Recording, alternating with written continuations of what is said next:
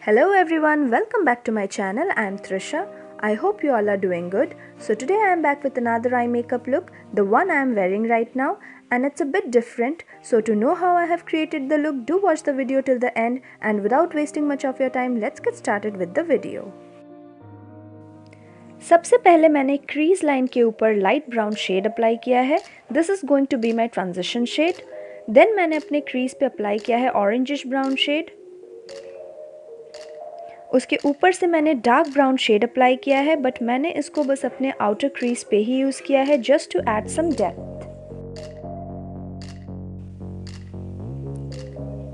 फिर मैंने blending brush में ट्रांजिशन शेड लेके लाइंस को ब्लेंड किया है। ये आप एकदम एंड में भी कर सकते हैं which is much time consuming then मैंने म्यूट रेड शेड अप्लाई किया है क्रीज एंड आउटर वी पे।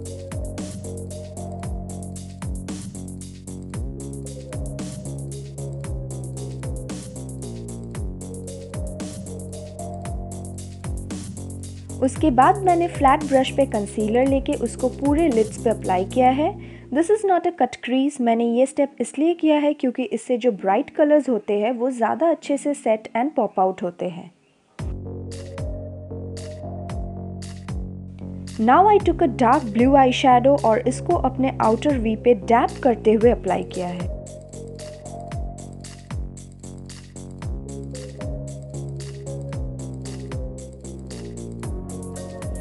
डार्क ब्लू के बाद लिड्स पे मैंने अप्लाई किया है टील ग्रीन शेड। इसको मैंने बस आई लीड्स के बीच में ही अप्लाई किया है।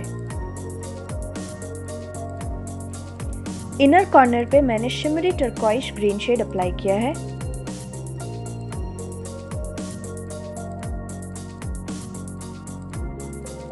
Then to deepen the crease मैंने वापस से म्यूट रेड शेड क्रीज पे अप्लाई किया है। Once again, I have blended the lines with a clean blending brush. Lower eye में सबसे पहले मैंने अप्लाई किया है म्यूट रेड कलर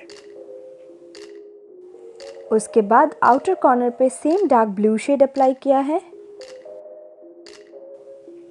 बीच में यूज़ किया है teal green and inner corner पे शिमरी टर्कॉइश ग्रीन शेड मैंने अपर लिड और लोअर लैश लाइन पे सेम कलर पैटर्न फॉलो किया है। ये एक इंटेंस आई लुक है सो मैंने अपने वाटर लाइन पे अप्लाई किया है ब्लैक काजल और क्योंकि मैं फॉल्स लैशेस नहीं यूज़ करती हूँ सो मैंने अपने अपर लैश लाइन पे लिक्विड लाइनर से बहुत थिन लाइन ड्रॉ किया है just to intensify it more अगर आप फॉल्स लैशेस यूज़ करते हैं then you can skip liner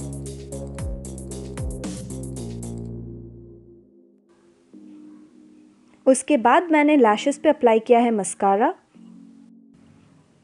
to complete the look मैंने फिर से क्लीन ब्लेंडिंग ब्रश से हार्श लाइंस को ब्लेंड किया है एंड देन थोड़ा सा हाइलाइटर अप्लाई किया है अपने ब्राउ बोन्स पे. सो so, ये है हमारा final look